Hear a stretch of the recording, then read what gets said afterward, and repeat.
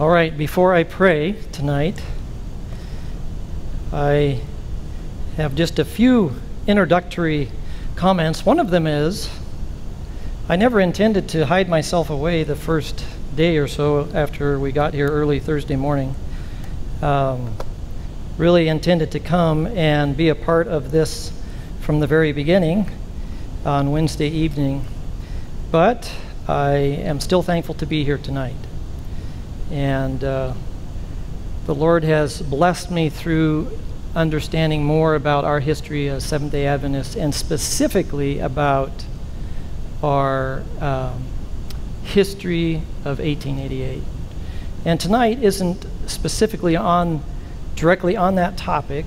We'll get into that more tomorrow. But it, uh, I think, will be helpful to us. So, again, um, I'm glad you're here. And uh, as we start tonight, I get all my clickers going, and let's uh, bow our heads for prayer. Father, we thank you for this opportunity to come here on this Sabbath evening or Friday evening as the Sabbath begins. And Father, most of all, we desire that you would be here with us. Lord, you have been through all the generations and seen it all. You know so much more than we do what has happened in the past and what is in the future. And so, Lord, it's to you that we look tonight and ask that you will bless each of us here. Guide my words, I pray, Lord, that I would only represent you. I pray in Jesus' name. Amen. So, I don't know who chose the theme for this year and when it was chosen, but to me, it's very fitting, and I believe the Lord had his hand in it. It's midnight, time for a most precious message. I think that was chosen before COVID hit. And I do believe that it is time. Time more than ever for a most precious message.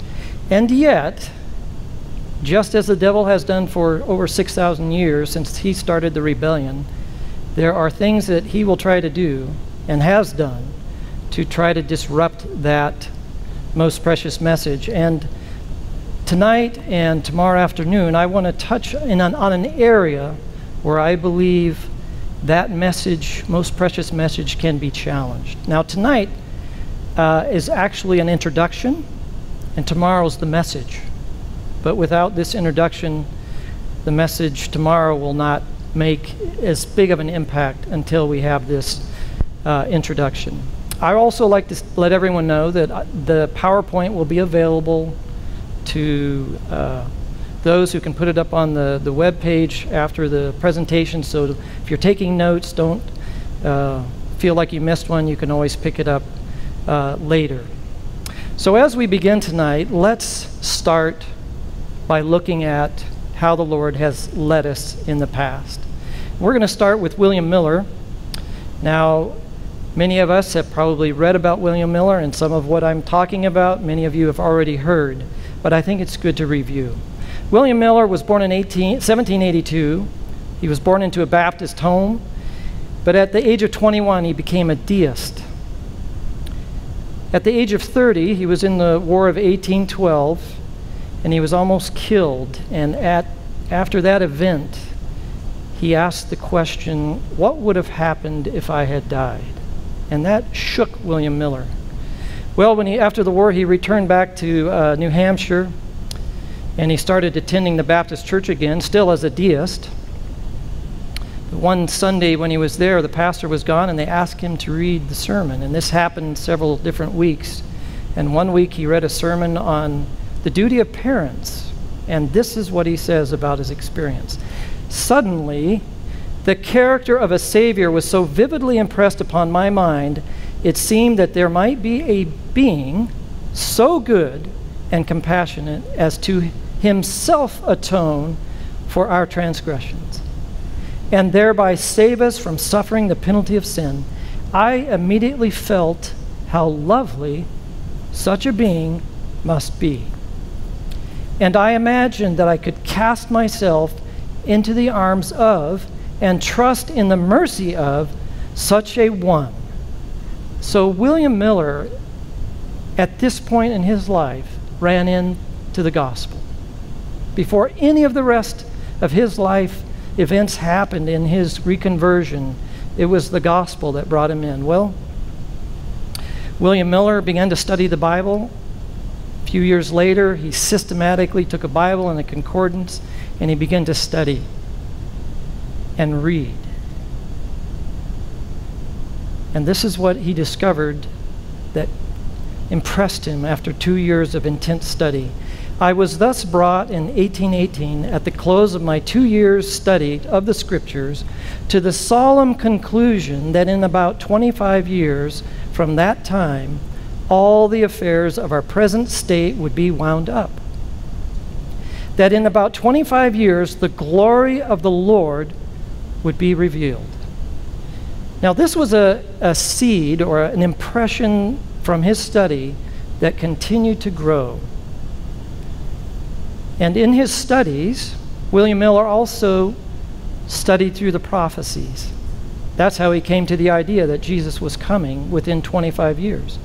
He read verses like Numbers 14:34, where God judged Israel a year for each day of the rebellion there at Kadesh Barnea. He read Ezekiel 4:6, where something similar, Ezekiel was to lay on his side, representing uh, a day on his side for each year of the, uh, of, uh, the iniquity of Judah.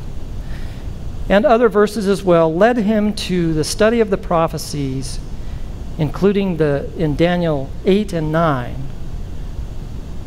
where he studied about the 70 weeks, the coming Messiah who would sacrifice his life, return to heaven, and there would be a period of time of ministry and then a culmination in what William Miller figured was 1843. Now, this is not a William Miller chart, but I'm just showing you that chart. It basically shows the plan of salvation.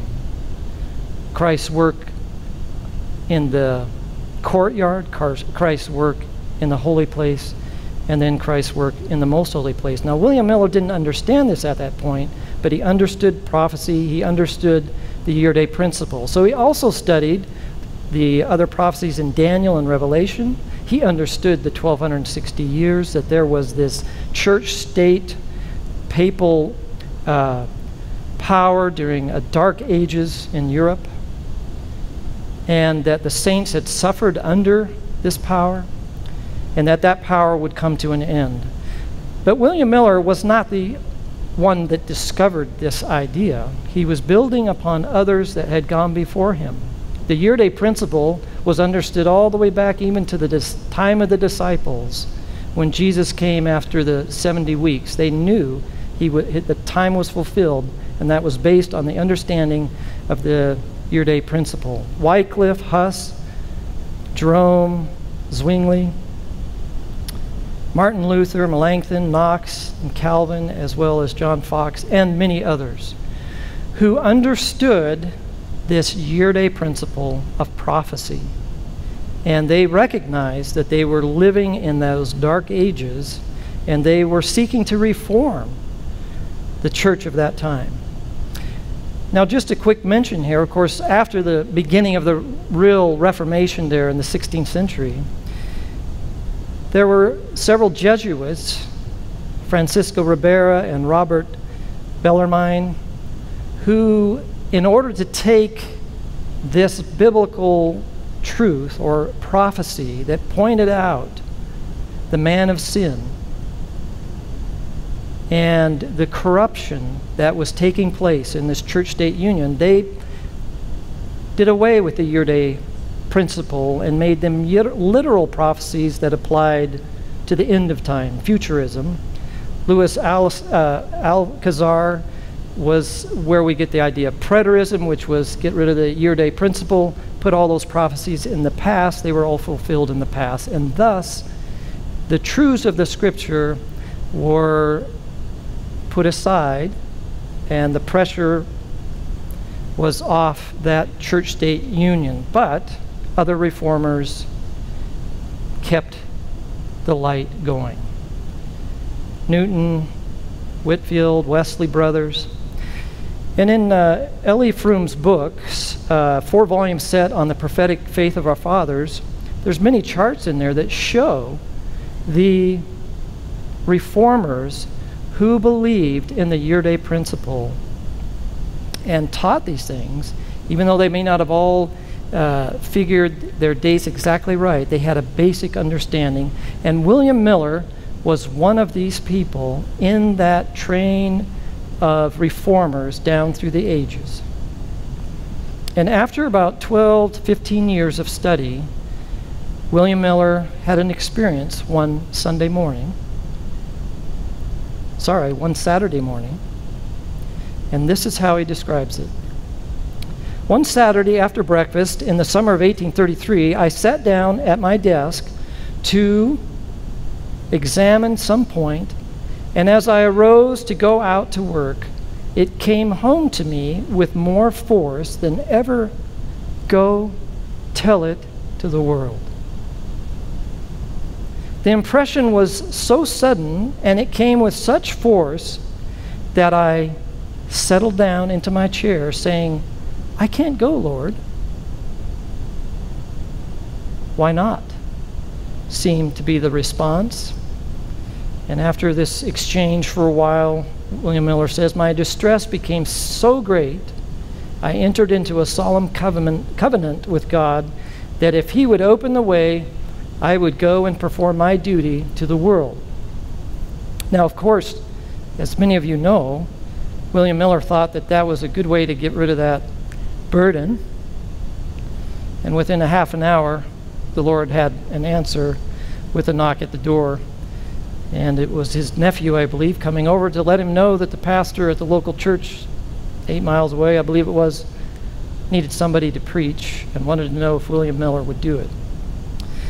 Well, after a agonizing time of prayer out there in his prayer spot, William Miller agreed to do what he had said he would do. And the beginning of his preaching started that summer in 1833. Three months later, the stars fell on November 13, 1833. Now, this was kind of the culmination of signs, as described in the Bible, Matthew 24 and other places, of events that would happen before Jesus returned. And these events solidified in Miller's mind that what he was studying was true. Jesus was coming soon. And of course, even in Miller's generation, they could not forget what had happened in November 1, 1755, 80 years, approximately 70 years before, when the biggest earthquake to that, known to that date had happened.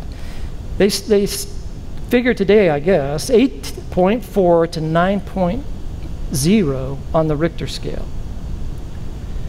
A city, Lisbon, 200,000 people almost wiped off the map in one night through earthquake, fire, and flood.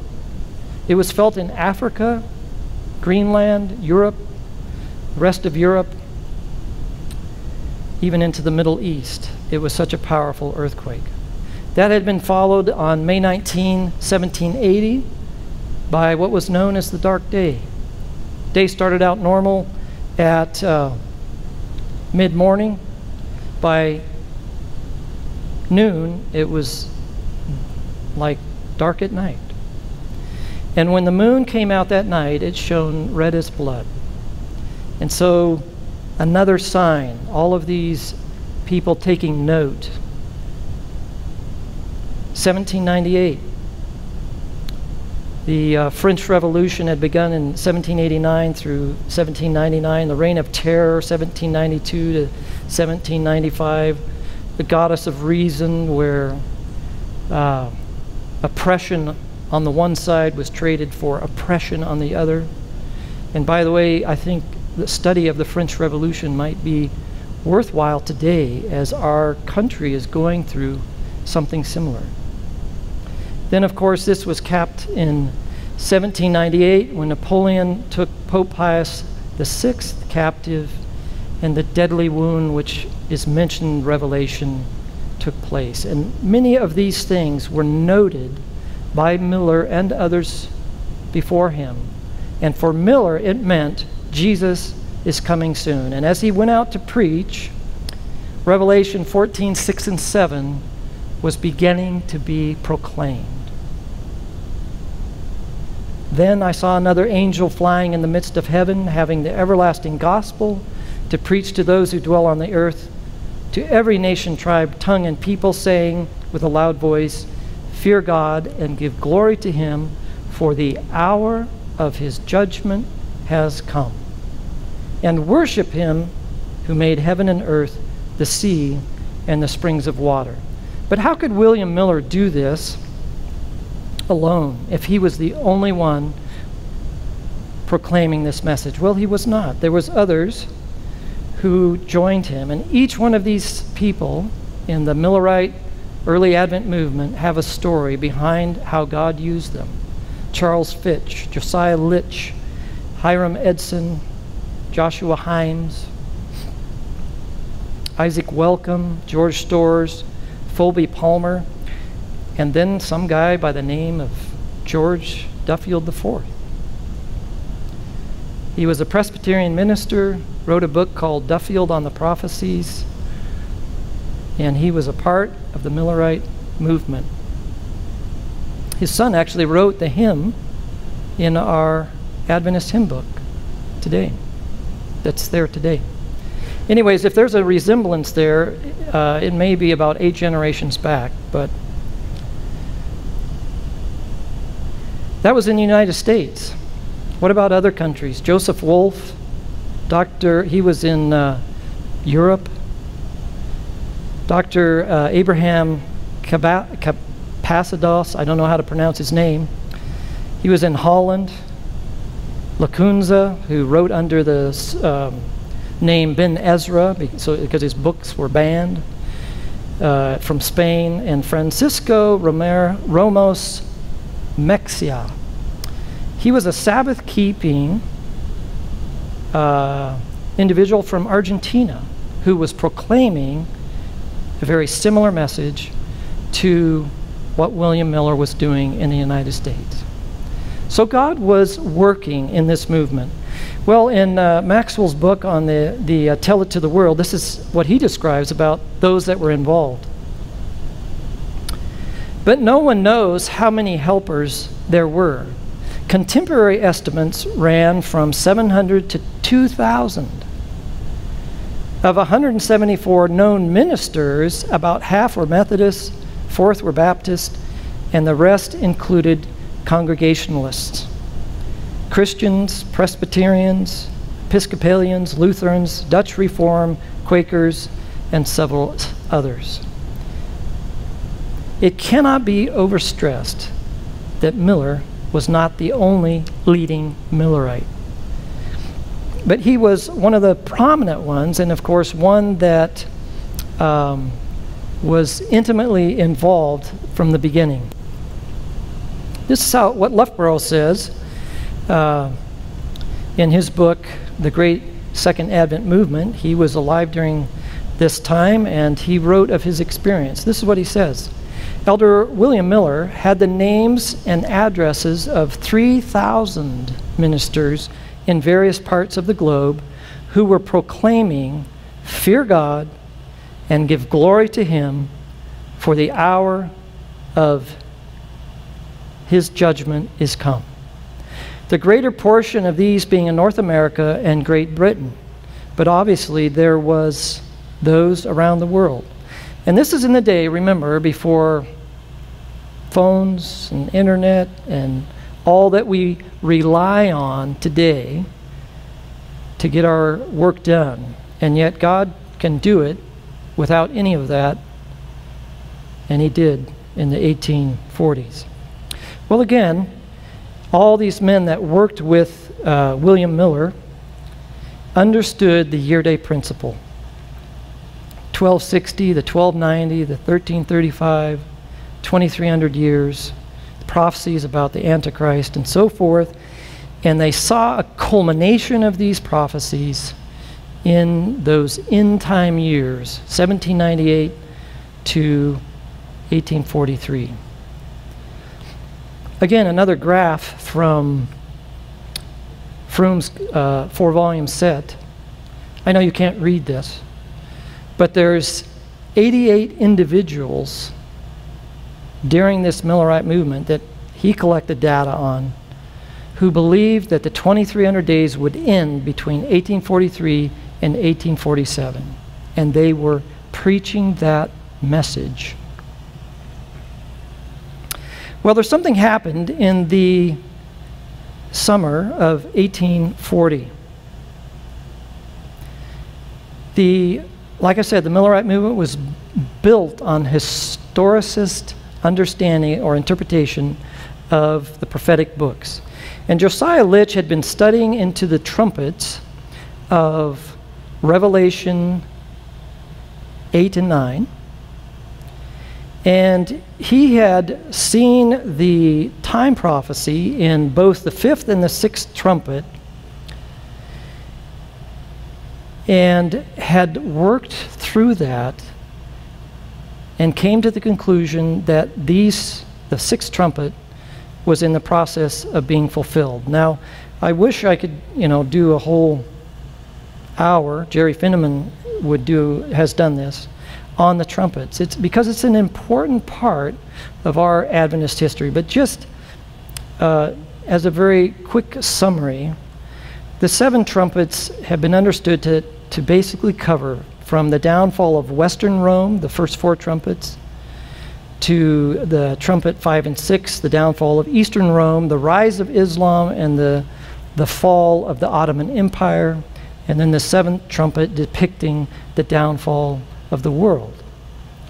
But in Josiah Litch's um, study, as he went to these prophecies, and he looked at the sixth trumpet specifically, and he looked at the, the a very unique uh, time prophecy in this trumpet that's specific down to the very to a day and he figured that out to come out to 391 years and 15 days. Now, by the way, he was not the only one who had studied into this. There were others. But Josiah Litch was the first to put it on an event happening in the world. Again, another way of figuring out that date from the sixth trumpet. And as he lined it out, this is how he, see, he saw it fitting.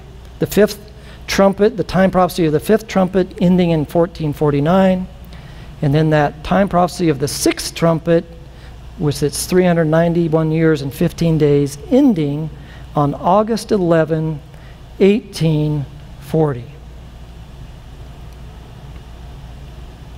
So this is how he describes it. In, uh, or actually, Loughborough describes it in his book. In 1838, Dr. Josiah Litch of Philadelphia, Pennsylvania, having embraced the truth set forth by William Miller, united in the work of giving greater publicity to the message. He prepared articles for the public print on the subject of the seven trumpets of the Revelation. He took the qualified position that the sixth trumpet would cease to sound and the Ottoman power fall on the 11th day of August 1840. And that that would demonstrate to the world that a day, notice, that a day in symbolic prophecy represents a year of literal time. So catch what his thought was in this that if it is shown that prophecy in the Bible, the year day principle, comes true, then people will see that that year day principle applies to the other prophecies that we as the Millerites are talking and proclaiming to the world. Now, Loughborough again continues in his uh, book a description. Notice what he says here. public journals spread abroad the claim that he, Litch, had made on the subject. Infidel clubs discussed the question in their meetings and said, Here's a man that ventures something, and if this matter comes out as he says, notice how they make the connection. It will establish his claim without a doubt that a day in prophecy symbolizes a year, and that 2,300 days is so many years, and that they will determine, terminate in 1843. So think of it. Now, this, you know, again, in the days before internet and phones and texting and all of that, but the word got around, and it was probably the talk at the bars and the shops in the where people, men and uh, women, would would discuss this claim that was being published about. Would that make you nervous today if, if you were a part of that kind of movement? What are the possibilities that this fails? Well, here's a, uh, another statement that Loughborough makes. The publication of Dr. Litch's lecture made a general stir, and many thousands were thus called to watch for the termination of the difficulties that had sprung up between Muhammad Ali, the Pasha of Egypt, and the Turkish Sultan. Hundreds said, if this affair terminates as the doctor has asserted, it will establish the year day principle of interpreting symbolic time, and we will be Adventists. Now, why would they say we will be Adventists? Well, because the time prophecies that were being proclaimed at the same time were Jesus is coming, the end of the 2300 days. All these other prophecies, the 1260, the 1290, the 1335, have come to an end. And if this prophecy in the sixth, fifth, and sixth trumpet came true, they would become Adventists. This is what Ellen White had to say about um, the Advent movement at this time when the first angel's message was beginning to sound. The event, talking about what actually happened, the fall of the Ottoman Empire on that very day, that event exactly fulfilled the prediction. When it became known, multitudes were convinced of the correctness of the principles of the prophetic interpretation adopted by Miller and his associates, and a wonderful impetus was given to the Advent movement. So, just as like people had said, if this happens, we'll believe.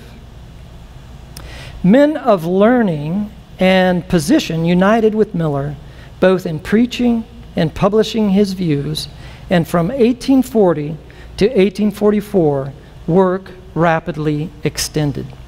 Now, this generally is actually, 1840 is actually really pointed to the time in which the first angel's message really seriously began to pro be proclaimed. And it was that prophecy that God had given in the fifth and sixth trumpets that Josiah Litch had studied out and published in pamphlets and newspapers that had actually lifted this Millerite end time event movement to um, the power that it became.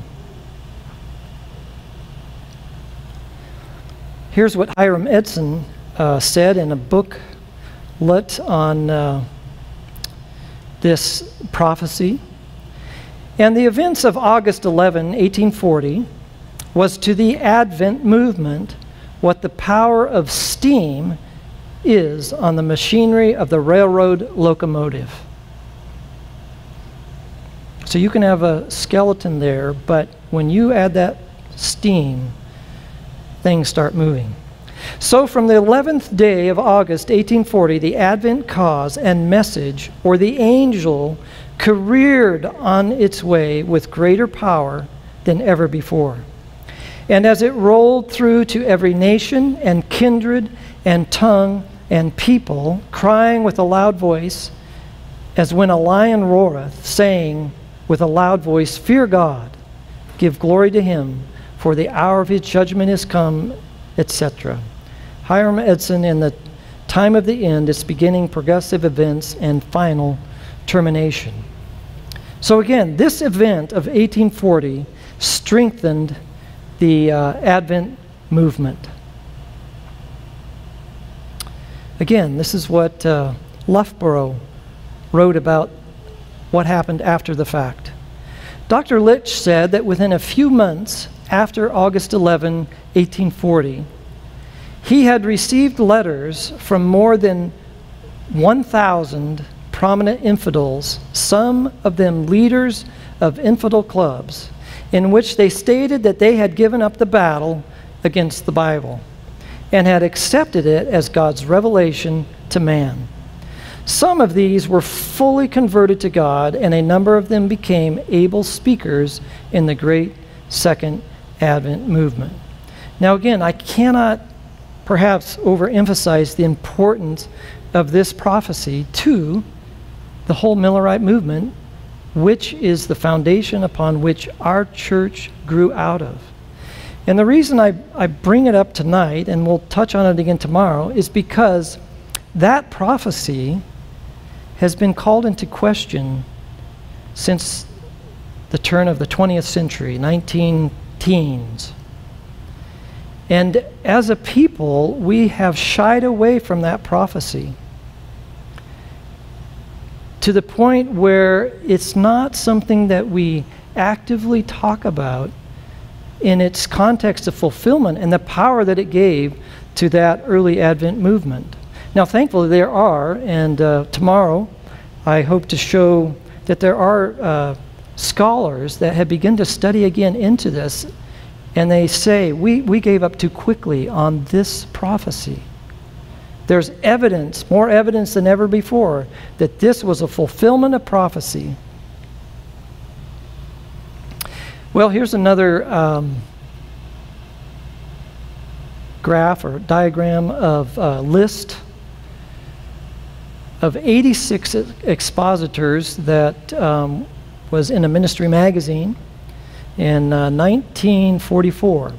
Now, I know you can't read those, and I can't either, but there's uh, 86 of them, along with Josiah Litch, who proclaimed the idea of the fulfillment of prophecy with the sixth trumpet. What's interesting is that sixth trumpet paved the way for the events that happened after that, that in chapter 10 of Revelation. And when you reinterpret the trumpets to the future, what do you do with all the history that's been lined up up to this time? Well, after that event in uh, 1840, Millerite journals began to pop up to the number of about 30 over the next four years.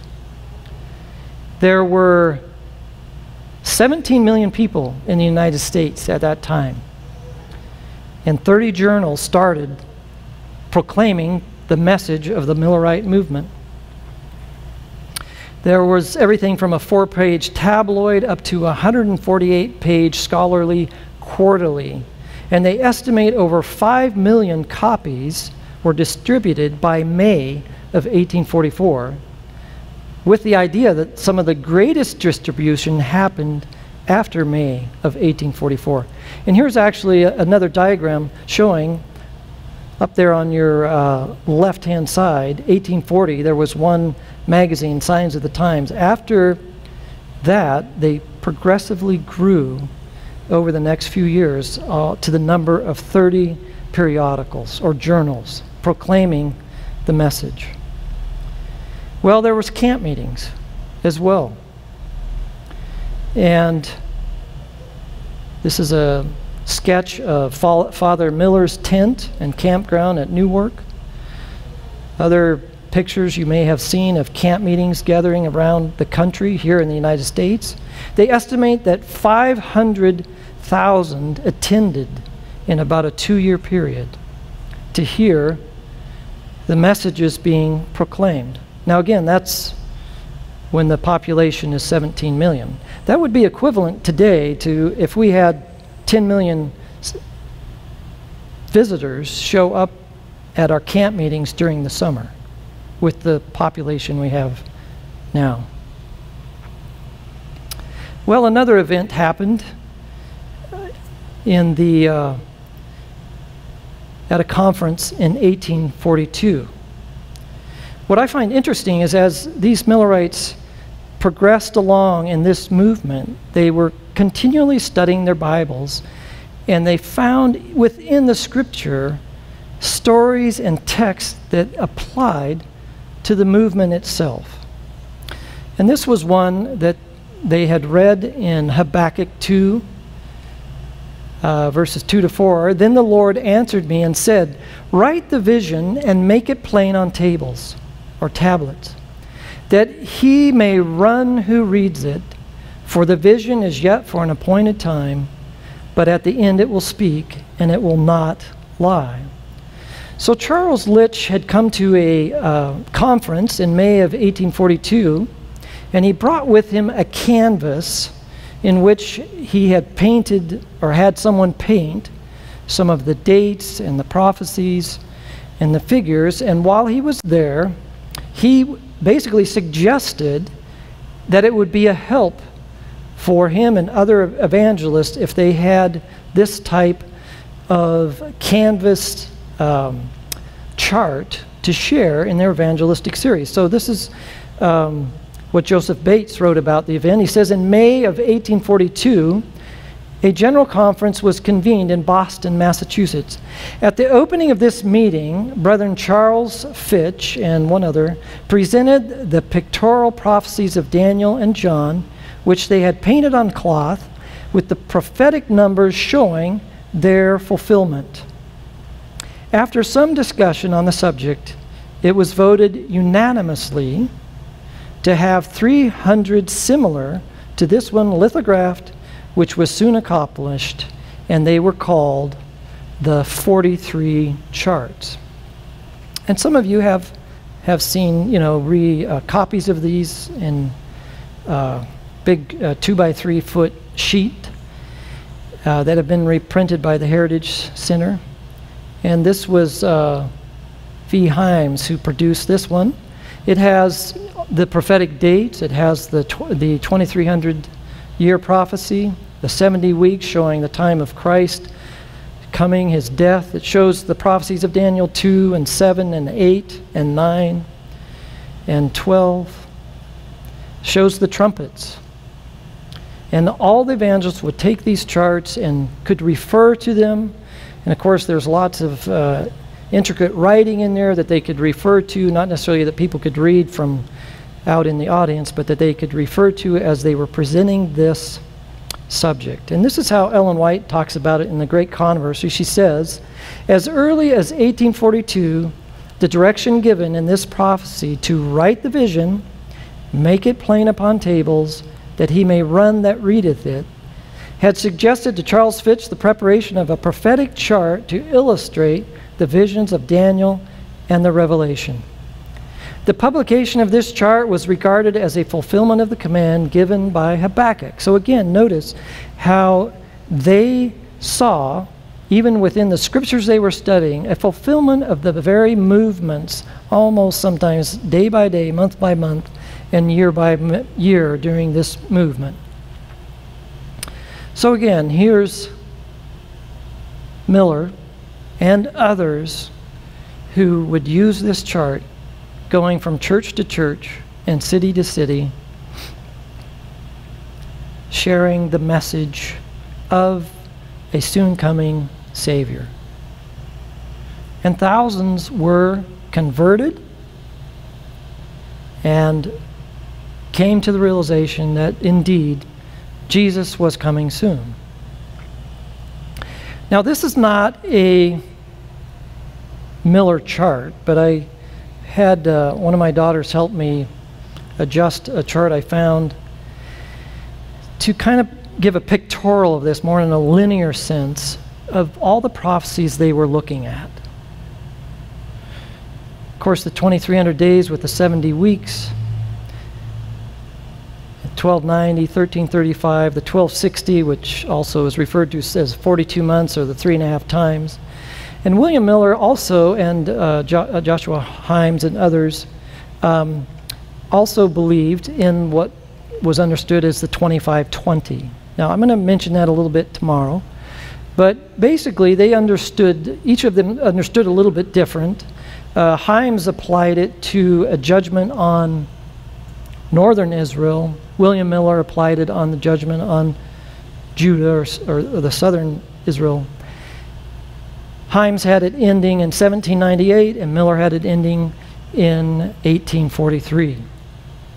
One thing I would like to bring out just now, because this has become an issue among some, is the important fact, regardless of the truth or not truth of this particular prophecy that they understood at that time, it ended by 1843. And tomorrow we'll see how, as the church, as that movement went on, and the Seventh day Adventist church began, this part of the prophecy was put aside because they realized it didn't need to be added to the 2300 days to show that fulfillment had taken place in uh, 1844. But again, all of these prophetic times in the Bible culminated in those years time would be no longer. And we'll talk about that tomorrow. Well, this is how um, Ellen White wrote about the results of this uh, worldwide movement. The results were actually twofold. Many, like I said, joined the movement, believing in the soon coming of Christ. But others didn't want to hear that, and there, they mocked it, and there was persecution arose from this time forward. This is what she says in um, early writings. I saw that God was in the proclamation of the time in 1843. Thousands were led to embrace the truth preached by William Miller, and servants of God were raised up in the spirit and power of Elijah to proclaim the message. The preaching of definite time called forth great opposition from all classes, from the ministers in the pulpit down to the most reckless, heaven daring sinner. Preachers and people joined to oppose this message from heaven and to persecute William Miller and those who united with him in the work. And you know, Loughborough talks about some of the persecution, and it was actually quite amazing. People standing outside the church, you know, making a racket, people throwing, you know, food at them, people actually planning to uh, murder one of the preachers, Millerite preachers. Here's a picture of some of the, the satire that came out during that time. I believe this one was something about William Miller needing, you know, put in a safe in April of uh, 1844. Other ones, of course, this one obviously has been made color, but the Millerites waiting for the world to come to an end. Here's one that's probably been seen to a uh, uh, grand ascension of the Miller Tabernacle. So even in the papers, there was satire and mockery of that Advent movement that had spread so thoroughly across this country and around the world. Well, some people were actually asked to leave the churches that they were attending. Now, remember, this Millerite movement was made up of members from many different denominations. Ellen uh, Harmon, at this time, and her father and family were part of the Methodist Church. And she describes in Life Sketches how her family was dealt with because of their belief in the soon coming of Christ. Notice what she says Our family were, invi- were all interested in the doctrine of the Lord's soon coming. My father had long been considered one of the pillars of the Methodist Church where he lived, and the whole family had been active members. However, the Methodist minister made us a special visit, took the occasion to inform us that our faith and Methodism could not agree. The next Sunday, at the commencement of the love feast, the presiding elder read off our names, seven in number, as discontinued from the church. This was in September of 1843.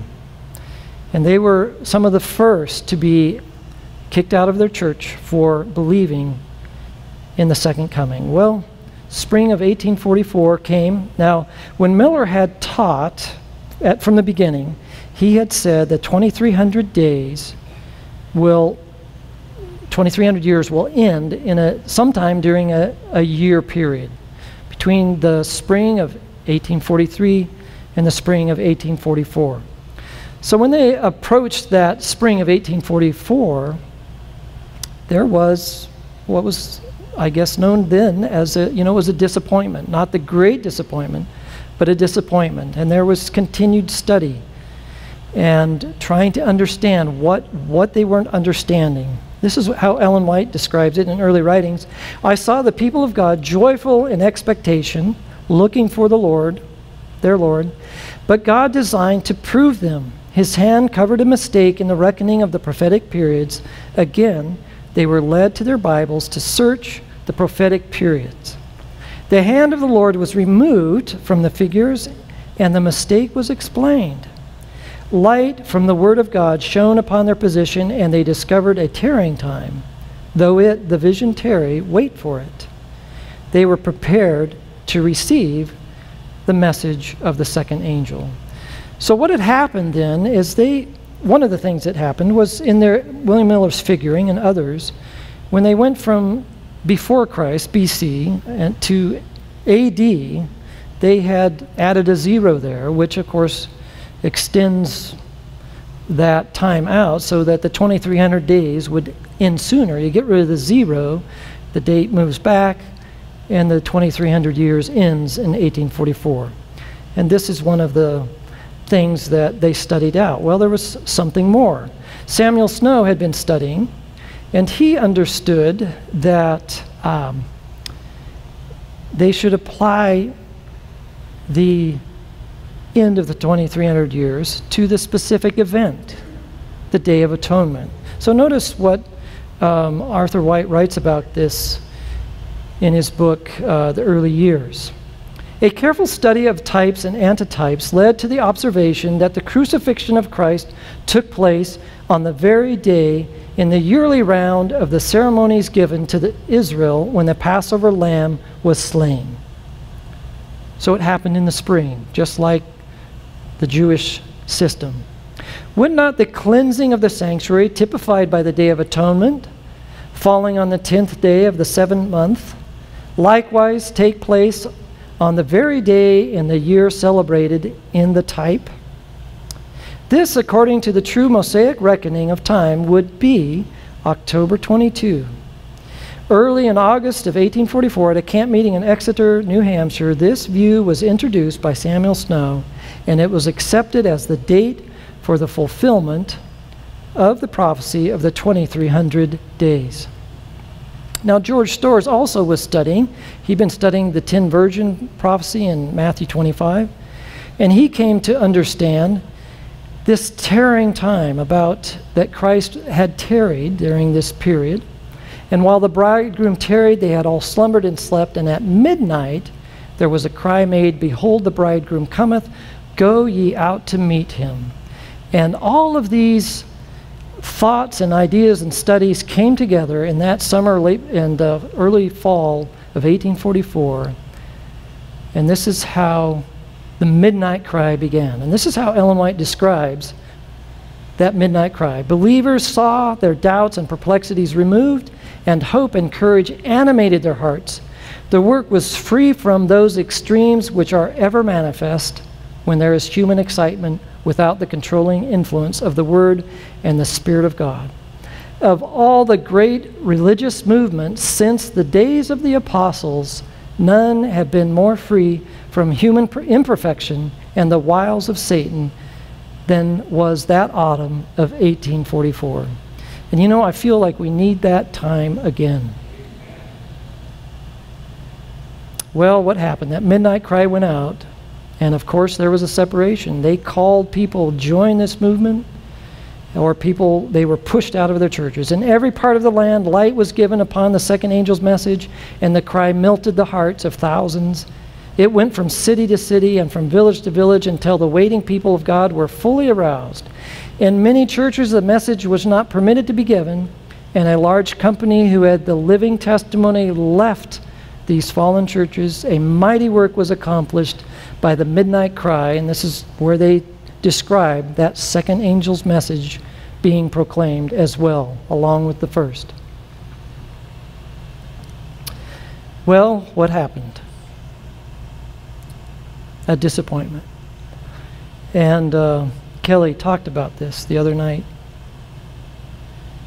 So, what Hiram Edson said I don't think we can enter into the agony of these brethren and sisters who were there.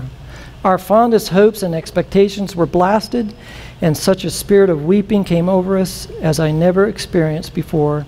It seemed that the loss of all earthly friends could have been no comparison. We wept and wept till the day dawned. But what about all those prophecies? Were they true? Maybe not, maybe they didn't understand fully, but were those time prophecies true? This is how Ellen White describes the events after the disappointment. Jesus did not come to the earth at the waiting of joyful company expected to cleanse the sanctuary by purifying the earth by fire. I saw that they were correct in their reckoning of the prophetic periods. Prophetic time closed in 1844. Their mistake consisted in not understanding what the sanctuary was and the nature of its cleansing. Jesus did enter the most holy place to cleanse the sanctuary at the ending of the days. So something did happen. Jesus didn't come and cleanse the earth by fire, but it was a continuation of the plan of salvation as seen in the sanctuary service. And then notice the whole point of this introduction tonight is are these points. The preaching of a definite time for the judgment in giving of the first angel's message was ordered of God.